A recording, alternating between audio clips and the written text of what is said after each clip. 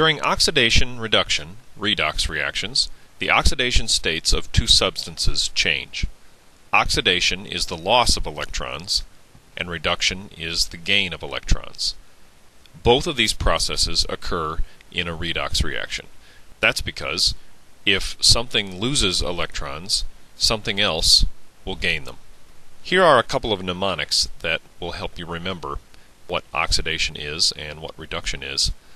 Oil rig, which stands for oxidation is loss of electrons, reduction is gain of electrons. Here's another one. That's Leo the lion, and Leo says grrr. Losing electrons is oxidation, gaining electrons is reduction. If these mnemonics help, please use them, but it is absolutely essential that you realize that oxidation is the loss of electrons and reduction is the gain of electrons. We're going to be talking about those a lot in these lessons. Let's go over the rules for assigning oxidation numbers. 1. Atoms in their elemental form have an oxidation number of 0. That is, each of the atoms shown here on the right is considered to have an oxidation number of 0. Each fluorine atom in F2 has an oxidation number of 0. 2. For a monatomic ion, the oxidation number is the charge on the ion. You can see on the right here, for the calcium ion, the oxidation number is 2 plus, for the lead 4 ion 4 plus, and for the nitride ion 3 minus. 3. Nonmetals can have variable oxidation numbers. Oxygen is usually 2 minus, but in the peroxide ion it's 1 minus.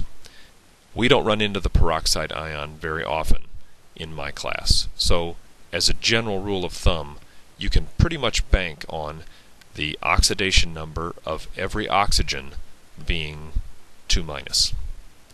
Hydrogen is 1 plus when it's bonded to nonmetals, 1 minus when it's bonded to metals. And you will recall that hydrogen will only bond with a limited number of metals. And those metals are what I call the strong base cations. That's what SBC stands for. And on the periodic table, those are the ones on the left side, beginning with, in the alkali metals group, lithium, sodium, potassium, rubidium, cesium, and then going to the alkaline earths, calcium, strontium, barium. Hydrogen will not bond with any other metal besides these. And when it is bonded to these, it's the hydride ion, and its oxidation number is 1 minus. When hydrogen is bonded to nonmetals, like fluorine, or chlorine, or oxygen, or nitrogen, it's 1 plus. Fluorine is 1 minus. You can take that to the bank every time the oxidation number of fluorine is considered to be 1 minus.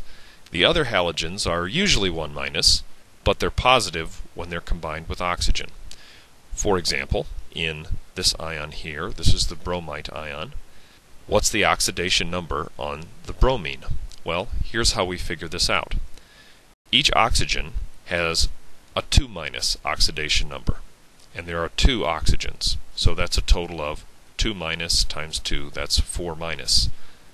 The sum of all the oxidation numbers must be the charge on the whole thing, which in this case is 1 minus.